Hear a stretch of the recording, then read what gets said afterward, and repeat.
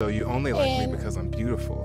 Just like I'm beautiful. Yeah, but that's not why I would only like you. So why would you like me? Because you didn't answer that. because you can bring something and add something to my life. But because you're a liability, you Right. can't add anything to my life. Right. You would be a liability to everything in So what life. can I not add to your life? What, what is that? You can't teach me anything. Mm-hmm. You can't help me with my finances in any way. You can't add any intellectual anything into my life.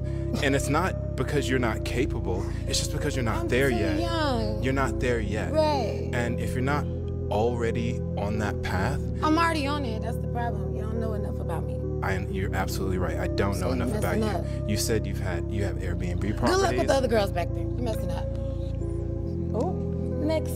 Oh, and I can tell that you're triggered, and that's okay. I'm not triggered, sweetheart. You We are. can- you are we- very we- handsome. we can But- work- we can work through this but together. You Please said I can't bring down. you anything, so it's like, what was? We Right. There's no need to talk. You can't bring said, anything right now. Good luck with the other girls. Say okay, and this is why your immaturity will mm. prevent you from being with a real man. No, I've dealt with real Because you're not before. listening to me and you're trying to talk over Go me. ahead, I'm listening. adults have conversations. I'm listening. Okay? So if we were to get together, you would be asking me questions like, Dr. Elam, what did you do to acquire everything that you acquired? What did you do to learn everything that you learned? What type of habits and skills do you have that can help me get to where I want to get? You have two mm-hmm. Airbnb properties. How can we get to mm-hmm. four? How can we get to I already know how to do that.